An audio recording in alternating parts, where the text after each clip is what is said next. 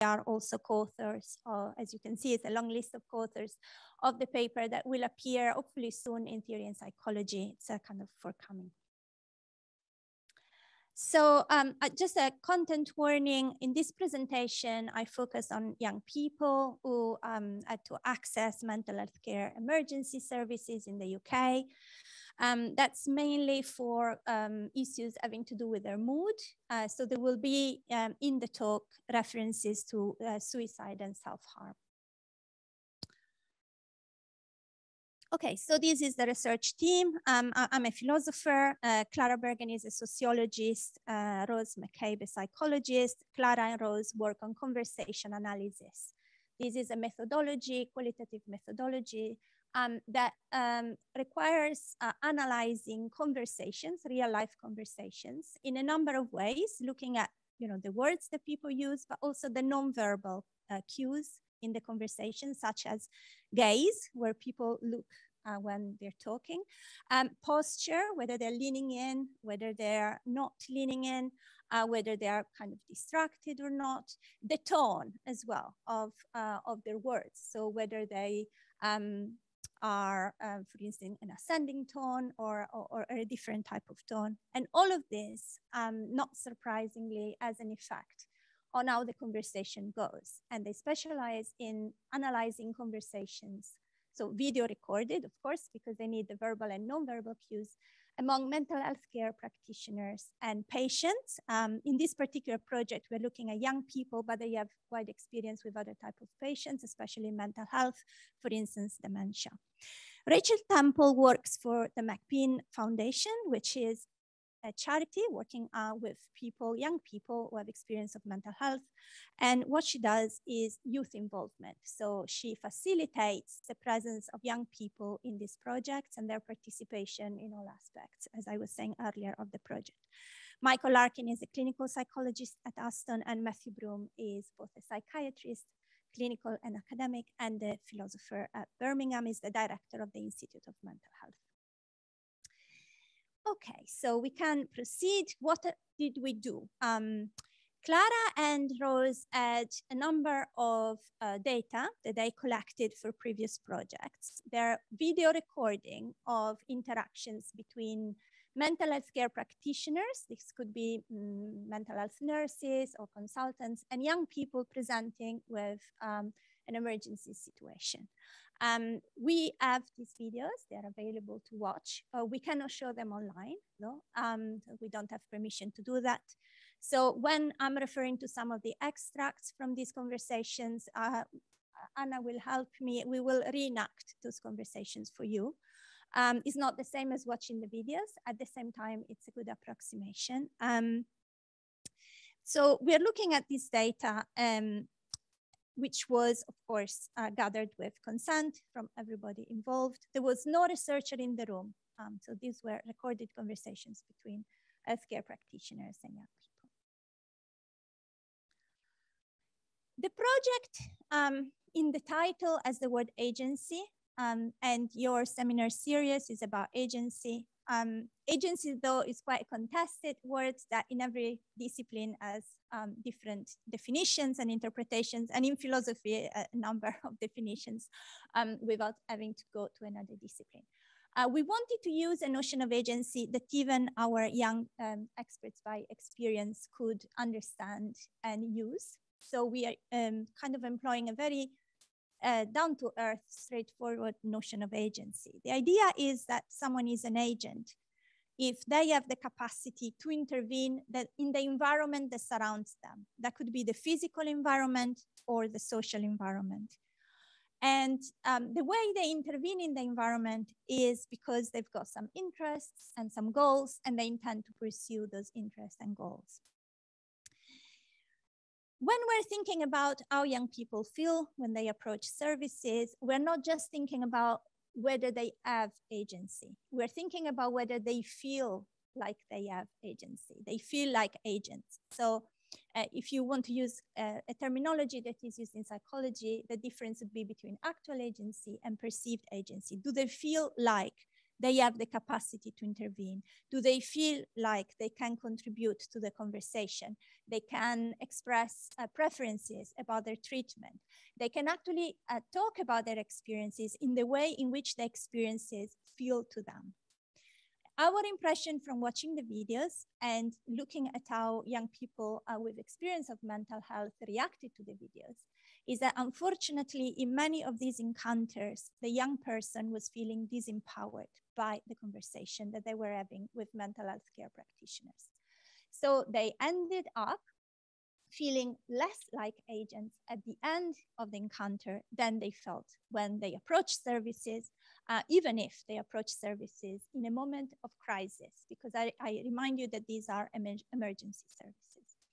What happened in the actual gathering of the data is that um, the young person who accessed the services was interviewed before and after the encounter. He was also, the person was also interviewed um, quite a few um, weeks after the encounter. And so that um, the researcher could get a sense of how the person felt about the encounter at different moments in um, their uh, mental health journey. So when, when does it happen that a person um, has a sense of agency, so feels like an agent? Well, a typical example of someone who feels like an agent, this could happen to all of us, is when we have a goal, we have something that we are really passionate about, we find quite a lot of obstacles on our way to achieving that goal, but finally we get it. So that is a moment where we feel like agentic, you know, we really feel like agents because we feel that we have intervened in the environment and we have changed things in a way that has benefited us, that makes sense to us, that makes our uh, life meaningful. When is it that we don't feel like agents? Um, the obvious example is when we are victims of uh, crime or abuse, you know, when, when we feel helpless, when we feel like, you know, we could have we couldn't have done anything to avoid something horrible that happened to us. So people, for instance, who escape areas of conflict, people who have uh, sustained periods of poor mental health, feel in this way, helpless, hopeless. You know, there is nothing I can do, um, and and they feel, you know, that there is very little that they uh, can intervene in that environment. When we're looking at young people who access mental health care services, uh, there are a number of factors that, according to us, make them even more vulnerable to feel hopeless, to feel not like agents, more vulnerable than other populations. And so initially, just before looking at these data, uh, we tried to put on paper what we thought were the main factors, also based on previous research that has been done. One important aspect of people going uh, in the, uh, people in this age group, so we said 18 to 24, is that it's an area of transition for many of them. Uh, whenever there is a transition in a young person's life, um, there is uh, there are difficulties that uh, for some young people mean also kind of anxiety or fear, um, because the people um, they um, are trusting, the people of reference, you know, their teachers maybe, their parents, their peer group may change. So people in this um, age group uh, move from relying mostly on, on their parents and teachers to relying mostly on their peers, and also very often move from school to work or from school to university. So there are lots of transitioning process that make this period quite challenging for them. Moreover, their identities are still developing.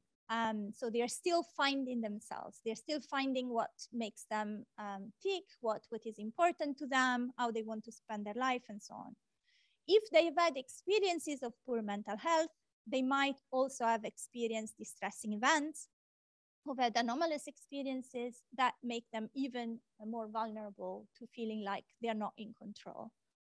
Um, when they're meeting healthcare professionals, but also when they're meeting their teachers or adults in their lives that are important, we also have to consider that unfortunately there are some negative stereotypes associated with young people Young people are often defined as restless or lazy. Um, if in particular they access services for mental health issues, they may be considered like attention seeking, which is a very discriminatory label attached to people, for instance, with diagnosis of personality disorder, or simply lacking maturity experience or resilience.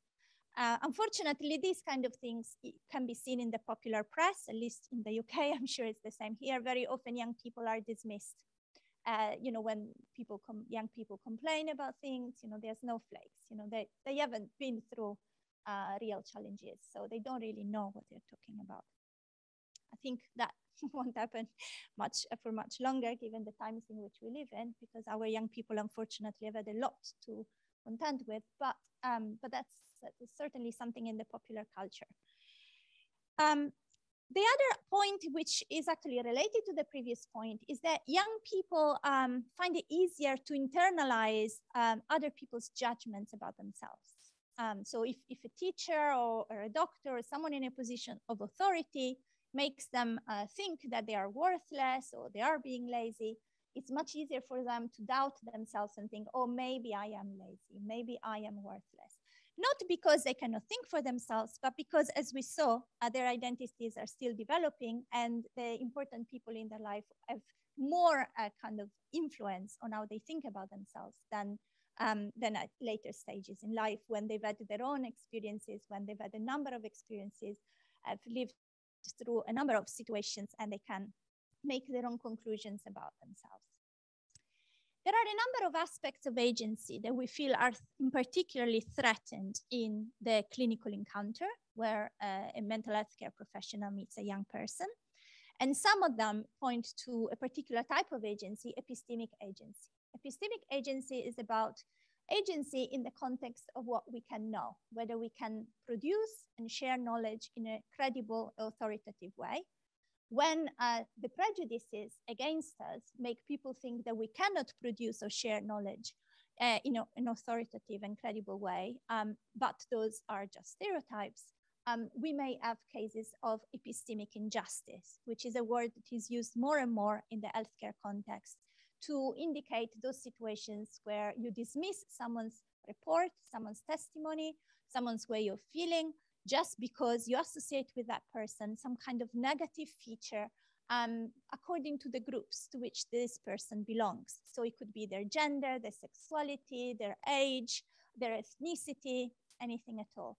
And when um, many aspects of your own identity are stigmatized and stereotyped, these kind of things can be layered. So if you're a woman, for instance, from an ethnic minority who looks overweight and so on, all of these things may work against you. Okay, so what are the aspects of agency that we will look at? Uh, we will look at validation. So an agent is a subject of experience and their perspective matters. So the moment that the person dealing with you treats you as a subject of experience with an important perspective, they validate your experiences. An agent can take action to change their situation by seeking help. So it's important in healthcare encounters that the person you're meeting legitimizes your help seeking. So recognizes that there is a good reason why you sought help and uh, you're deserving of attention. An agent may have multiple and conflicting needs and interests. So again, it's really important to consider the person in front of you, not just as a problem, not just as a diagnosis, but as a person. So with a complexity to them, uh, a multiplicity of needs and interests that sometimes don't fit together very well. Um, and this helps you refrain from objectifying the person in front of you. With adequate support, not by themselves, um, an agent can contribute to positive change. So I think this is very core aspect of agency. Remember, intervene in the physical environment, in the social environment, as to bring about their goals. So it's very important to affirm the capacity that the person has to contribute to change. Um, with adequate support, an agent can participate in decision making. Even in a situation of crisis, even when the person feels vulnerable, they may have a contribution to make to a decision. Um, in the healthcare context, it could be what treatment uh, could be best, or who, who best could support you in this moment. So it's important that the decision is a collaborative decision between the healthcare professional and the patient and the person in front of them. If there is no collaboration, the healthcare professional may make a decision that doesn't actually fit with the life of the person in front of them. Maybe good on, on paper, but may not actually be practical for, for that particular person. So let's start with validation and legitimization, which are really strongly linked. Um, and according to our young people who have lived experience, they are the most important steps. and the ones that unfortunately are still missing very often from healthcare encounters. So what is validation? If you look at how validation is manifested in a conversation, in a dialogue, um, it can be very simple, basic things um, that you don't normally even have to think about. Listening attentively, um, accepting what the person says. Accepting doesn't mean that you have to believe that what they say is true, but you have to take into account what their point of view is on that particular issue. Showing empathy, showing that you care, showing that what they say is important, and avoiding judgment. We will come back to that later. So these in the words of our young researchers. By kind of bypassing those feelings, it's kind of like almost implicitly telling the person, okay, your feelings are a problem. I'm uncomfortable with your feelings. We're not going to talk about them. We're just going to fix them. It almost amplifies the young person's distress because they're struggling to sit with the feelings and they're seeking help. So showing interest for what, how the person is experiencing things is really important, even if there is no easy solution to come after uh, you have listened to them. Legitimization um, is actually the recognition that the person has already achieved a lot by seeking help, uh, has already made this very important first step to improve their mental health.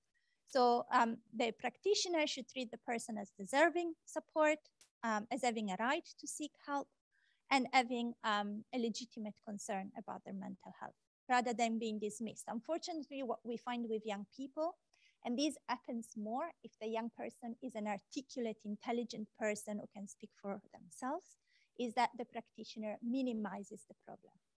It's almost the, almost the idea is that, oh, you can't be unwell and be so articulate in describing what you're going through. And this is unfortunately a problem that um, is particularly uh, serious with university students seeking for help. They are sent from the university counseling services to the emergency services in situations where, um, you know, they, they may want to end their lives, for instance, or they are thought to want to end their lives. But then emergency services find them almost, you know, too knowledgeable and articulate and in, in control to, to needing help, um, which is something that we saw again and again in the, in the videos. With that sort of interaction of, oh, it's fine, you know, the department said it's not an issue, so it's fine, um, sort of having those thoughts. Or you wouldn't think, well, maybe it's really serious. Maybe I do need to tell someone to help me. And you then want to go seek help again because of what happened previously. So here the young people are telling you that if you go and see a practitioner, and takes a lot of courage to do that, especially in a moment of crisis, and the practitioner tells you, don't worry, you know, there's nothing serious. Next time there is a crisis, the young person is uh, really not uh, willing to seek help again. And this, unfortunately, is something that um, we have uh, seen with, with how people respond to this kind of interactions. Okay, so this is our first extract from a conversation. Uh, this is a case where the practitioner is downplaying the young person's distress. Jack is a young man experiencing suicidal thoughts. And at the start of this video, he says he feels miserable. So these are just extracts of very long conversations. Um, so we're giving you a little bit of background, but this is a young man defining his own situation as if it's feeling miserable. I feel like miserable kind of sums it up. Yet in your face, you know, when you're speaking, you have you've got a variation, haven't you, of your expression. You know, you smile and things like that. Yeah. So you have times when you clearly are miserable, you're sort mm. of enjoying things or you're able to give the impression that you're enjoying things. Yeah. Okay, so what you see in this um, in this dialogue is that the practitioner invalidates um, the word miserable, which the young person is using to describe themselves.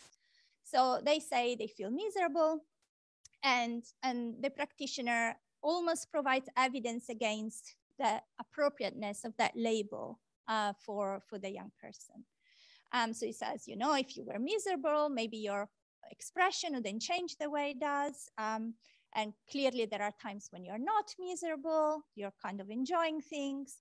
And initially the young person is uh, kind of resisting that changing of, um, of the label. So, mm, um, but then you know, while the practitioner continues, um, he, he, finally just says, yeah. Um, we will come back to the exchange between this practitioner and this young person, uh, because this is a case where the young person is presented to services as suicidal, but the practitioner is challenging that, saying that they shouldn't have come to emergency services because they are not really suicidal.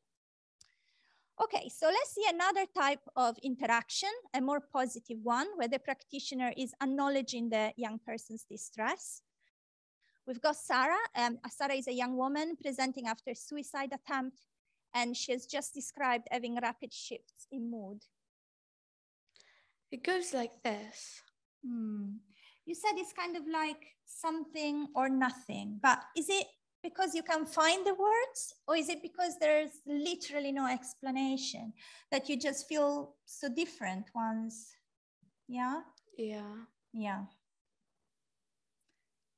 It will come over me like i'll admit it sometimes. I'll just find myself changing and then i'll be down again. Yeah. And i don't know why. Mm. it sounds like it's quite exhausting because it must sound like you almost don't know where you are from day to day, even then. I'm fighting like every day myself. Yeah. I'm so tired. Okay, you see the difference with the previous interaction. You got slightly longer extract, but here the practitioner is really interested in how the person is feeling and probing the person's feelings, uh, trying to understand better what the experience is like for the young person. So it's providing a tentative explanation, waits for the young person to nod or agree or disagree. And um, in the end, it's a very validating and legitimizing uh, dialogue because it keeps, um, the practitioner keeps saying, I understand it's quite exhausting for you. So the concern is legitimized, it's not dismissed. It must sound like you don't know where you are from day to day. And this kind of validation makes the person open up more. So notice the difference with the previous extract. By the end of the conversation, the young person wasn't saying anything, just, mm, yeah. But here the person is offering more and more information. I'm fighting like that every day myself. We find this over and over again in the scripts. It's not just these examples. Um, the more the practitioner takes time to listen, and ask probing questions and provide some explanations, but then waits for assent or dissent, the more the young person shares about their experience. Just saying, I can see you're struggling can make all the difference. I still want to acknowledge my distress, even if you can't offer me help. Don't downplay what I'm feeling. Just because I look okay doesn't mean I'm feeling okay. I can tell if you're taking me seriously by your body position and tone of voice. So these are actually tips that our young people provided for practitioners uh, after having had experience, unfortunately, in some cases, even year-long experiences of services. As you notice, it's very minimal what they're asking. Listen, just see that I'm struggling, don't downplay what I'm feeling, uh, and so on. And this is a, a, slightly longer quote from, from them. You're really distressed, you're in a lot of pain. I think that kind of acknowledgement alone can be really powerful for someone who feels like they're completely alone, isolated, and they don't feel like they even have control over their own mind. Okay, so let's move now to um, objectification and how we can avoid it. Um, what is objectification? It's kind of treating a subject as an object treating a person as if they're just a problem. Maybe a problem to be fixed, or a collection of signs or symptoms, or a category of type of patient. Now, it's very important that for our young people, a diagnosis is not necessarily bad. Diagnosis can be empowering, can be comforting, can be a, a means to achieve something, maybe to get more support. Um, but at the same time, what they seem to object to is to being diagnosed too quickly, is to being labeled um, immediately during the conversation. So it's enough maybe that they talk about how their mood is or how their thoughts are, that the practitioner says, oh, maybe, you know, this is what you are, you know, maybe you are depressed, maybe you've got anxiety. And that feels to them a bit dehumanizing, you know, it's like, now I'm a label, I'm no longer a person. And so uh, all the support that is being offered to me depends on that particular label. There is nothing more I can offer about my own experience that is going to change what the practitioner is going to do. When you are a young person, your identity is so malleable, it's very easy for a label to become enmeshed with your sense of identity.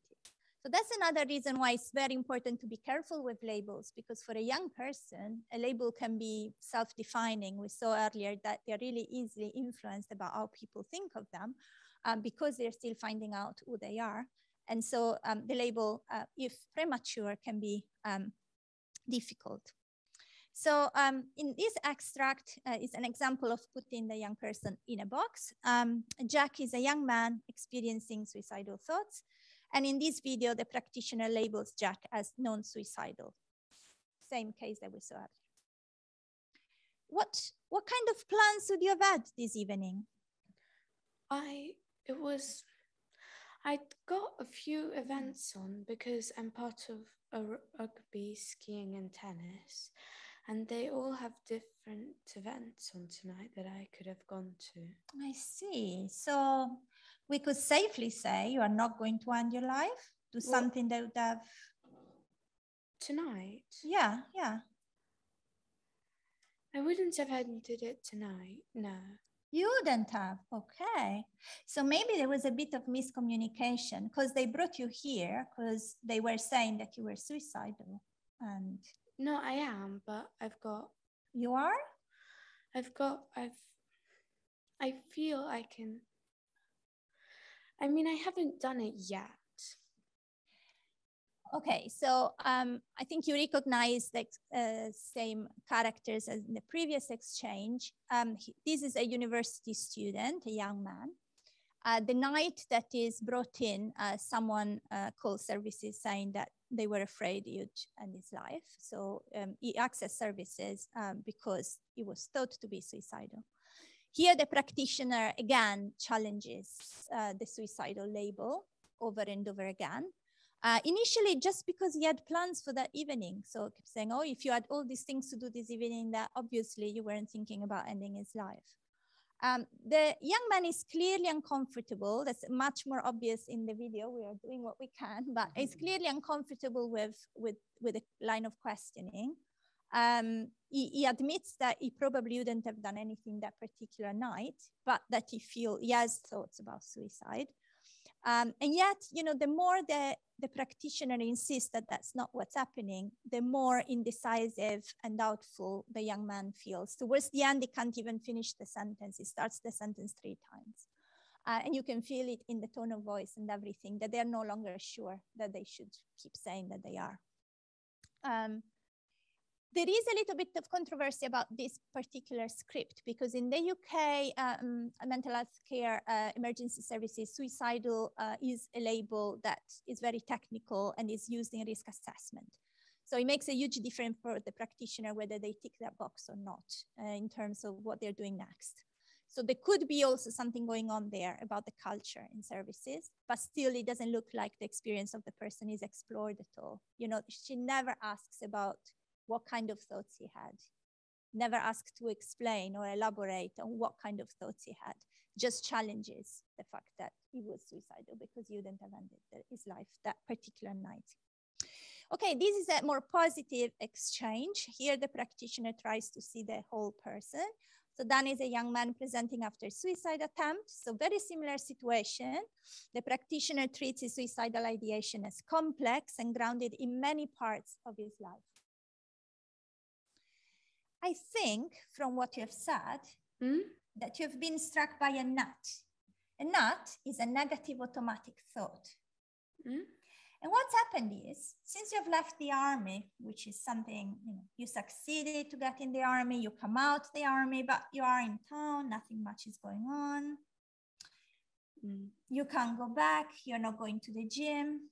Mm. Your physical exercise is going down, yeah? Mm it's hard for you to get a job. You struggle with your mom because she doesn't understand the situation. Yeah. Yeah. Mm. So what happens is you get this build-up of negative thoughts in your mind.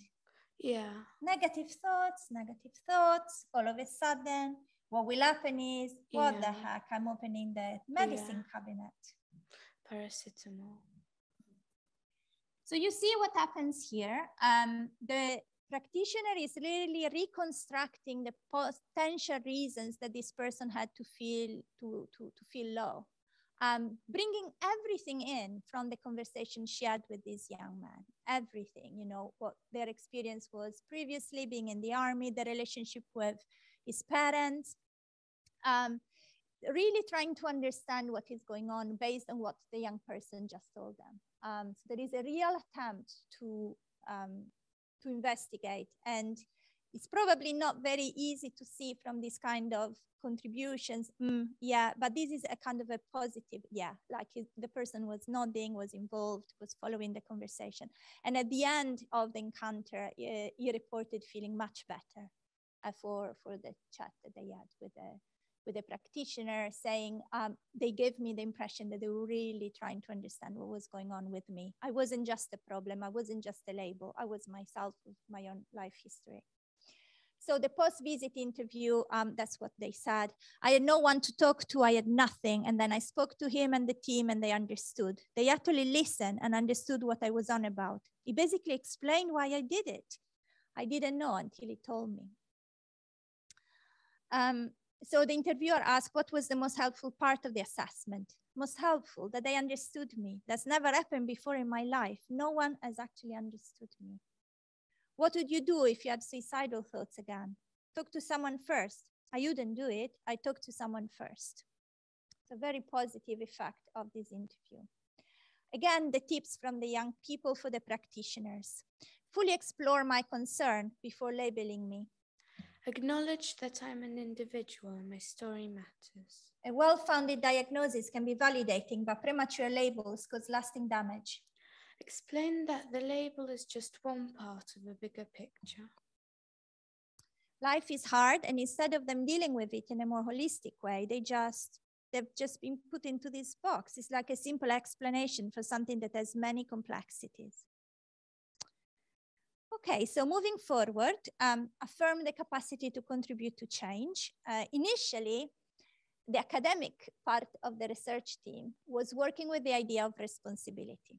Because in philosophy, as you know, when we're thinking about agency, we are really thinking about um, the person who is an agent is the person who uh, can take responsibility for what they do uh, and also kind of determine what they do on the basis of their goals, but also be regarded as praiseworthy or blameworthy, depending on how people see what, um, what the agent does. We moved to talking about the capacity to contribute to change because for the young people, the word responsibility was just too much. They thought that for young people in a crisis, struggling with their mental health, the thought of being responsible for anything um, by themselves without adequate support was uh, too burdensome and something that they couldn't have dealt with properly. So how does a practitioner affirms the capacity that the person has to contribute to change? Acknowledge past achievements, recognize multiple factors contributing to a crisis. We just saw that with the previous extract. Emphasize feasible goals for the future that the young person can actually achieve um, and avoiding blaming the young person. Practitioners should acknowledge that the young person's current state of distress is not their fault or a direct result of their actions, but they should also encourage the young person and note that they have the inner strength and capacity to redirect and change their current circumstances, almost like a scaffolding approach. To me, it's surprising that this is a direct quote from one of our young person with lived experience. It looks so clear and so beautiful from a philosophical point of view to try and describe this collaboration between uh, the healthcare practitioner and the young person, uh, building back the confidence and the capacity to change as scaffolding. To me, it's just a really, really beautiful image that I think sometimes philosophers struggle with, but um, it's, um, it says very well what we are trying to do. So the problem is that assigning responsibility is usually linked to praising or blaming, whereas assigning responsibility is part of the recognition that the person is an agent. Blaming is detrimental to therapeutic relationship. This is a point made brilliantly by Hanna Pickard, who was at Birmingham now, um, is at Johns Hopkins University. She developed this framework, responsibility without blame, which she initially applied to personality disorders, then to addiction, then to other areas of healthcare, where she claims that it's important in healthcare practice, in clinical practice, to consider the person responsible because otherwise they wouldn't take um, initiative in their own treatment and their own recovery process, but not blameworthy because blame doesn't benefit the person. Um, and uh, that's one possibility, keeping responsibility, avoiding blame. Um, another approach by Brandenburg and Strijbos is quite different, is the nurturing stance. So they suggest that actually blame is helpful sometimes. They invite us to think about how we blame children. We don't blame children because we think they're responsible for doing something wrong. We blame them because we are teaching them that certain things should be avoided in the future. And our approach is nurturing. We're not blaming in, with a view to punish. We're blaming in a view to with a view to um, help them develop.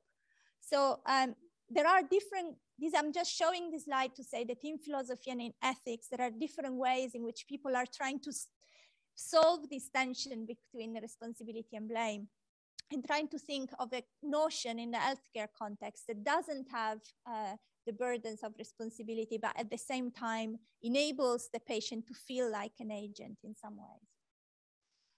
So what capacities do, do agent, uh, agents have? It's important to distinguish um, between the young person's capacity to assume responsibility, which in some contexts places a burden on young people, and the young person's capacity to contribute to change, which doesn't necessarily place this kind of burden, and is compatible with the young person's behavior being just one of many factors in their mental health.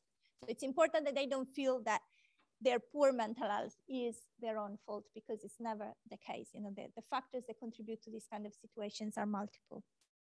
Okay, so it, this is extract five. This is a positive interaction where the practitioner recognizes the person's previous achievements. Ron had overdosed many times in the previous years, but then started attending therapy and stopped overdosing um, as frequently it's really hard to change things when you've got coping strategies or whatever. It's really, really hard to change it. And you've done really well to change. I saw you last year. I saw you a few times. Yeah. When you talk about your bad times, that's how I remember you. That's how I met you. And things are completely different for you now. Yeah, yeah, I'm doing better. I think you should be really proud of what you've done. A lot of people don't manage to do it. I think you've done really, really well. Okay, so what, what's happening there is that uh, the person is empowered because what they've done in the past to try and improve their situation um, is actually something that the practitioner recognizes as something really difficult to do. Um, and and uh, you know, the conversation continues along these lines for quite a bit longer, but the person really in the end feels that they have the resources to improve again, because of course they presented to services because they overdosed again, but they don't feel like they failed themselves. They feel like they are in a trajectory uh, that is uh, positive, that is progressing. Unfortunately, this is extract six, is a negative one. Uh, it's one of the most difficult for me. Uh, when I was watching the video, it was very difficult to watch. Um, so I'm in a way glad that you're not watching the video, but this is a, an interaction between a practitioner and a young man who uh, overdosed. Where the practitioner, uh, I can't put it any differently, blames the young man for not considering the effects of uh, his actions on other people. So when you say you are concerned about the impact on other people, had you thought about how what would happen for the people that found you? I I had. I didn't want it to be my sister. Okay, but you said she was in the house at the time, so it could have been her. It could have been her. Yeah. It's much longer.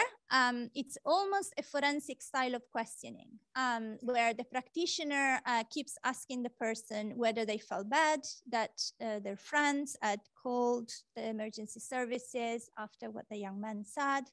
Um, and uh, basically making him think that um, what he had done had kind of uh, difficult repercussions on members of his family, including his sisters. Um, very, very unpleasant kind of conversation to, to have, uh, but where you can definitely see that there is a blaming uh, of the young person that is not particularly helpful um, in any way. It's not kind of making him reconsider what he did. If anything, it makes him feel even worse about himself than he felt at the beginning. So here are the top tips uh, of our young people for practitioners.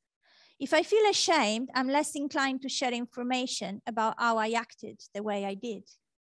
It is important to acknowledge how far I have come. You don't want the message to be, it's not relevant how you're feeling. Just imagine what this would do to everyone around you. Okay, so we got to the last one. So with adequate support, an agent can participate in decision making. Um, I mean, participation in decision making is another core aspect of agency. A lot of people are talking about partnership now between patients and healthcare practitioners.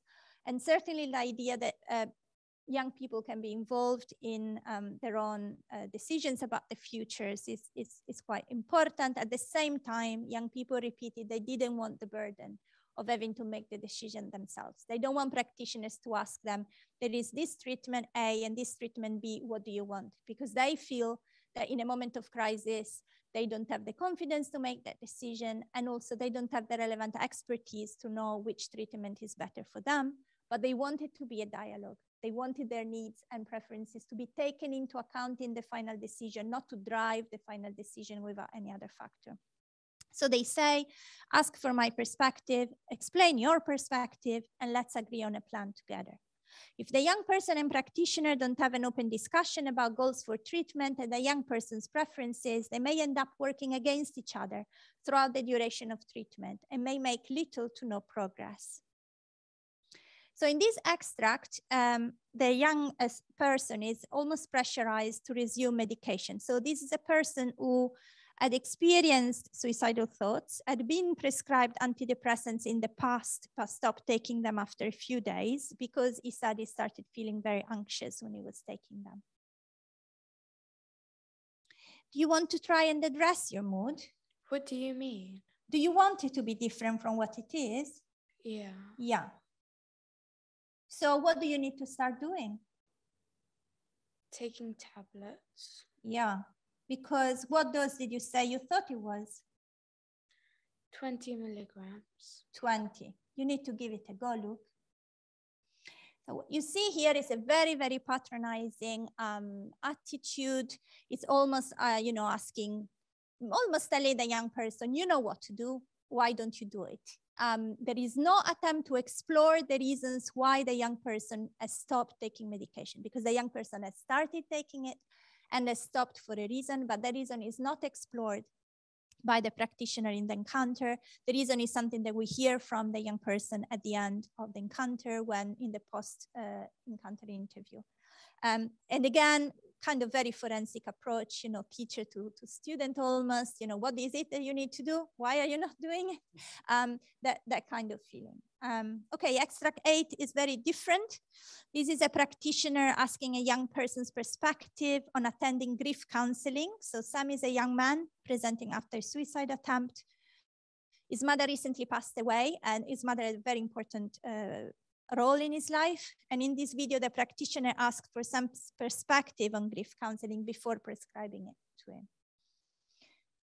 On the subject of, of your mom, have you ever had any counseling, any grief counseling no. around loss of a family member? No. Mm. Has anyone ever suggested it to you? The mental health did in London. They suggested counseling for me. Mm. Uh. Okay.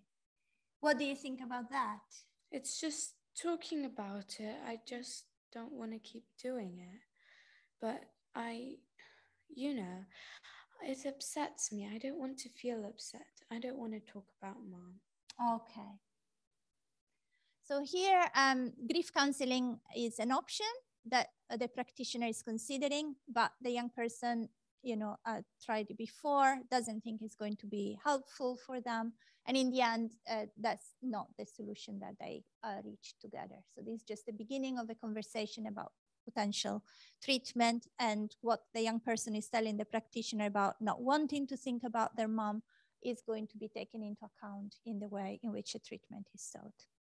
So top tips of our young people for um, practitioners, take time to explain what you recommend. Ask me, I have heard about the treatment option. Ask about my concerns about treatment. Don't make up your mind about treatment before asking my perspective. Don't ask me what type of treatment I need. I prefer to explore and discuss this together. Be transparent about potential problems.